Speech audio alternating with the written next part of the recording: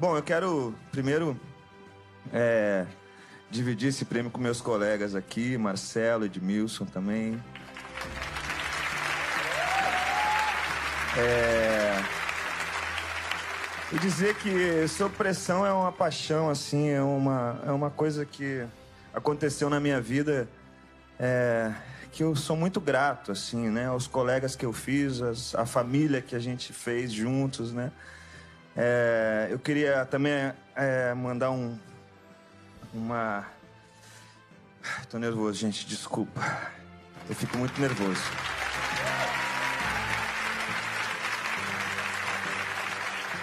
É...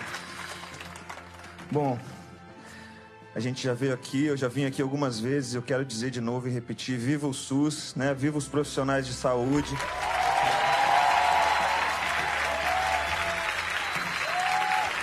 E só que eu acho, eu sinto que dessa vez está diferente o clima, tem um clima mais festivo, mais feliz.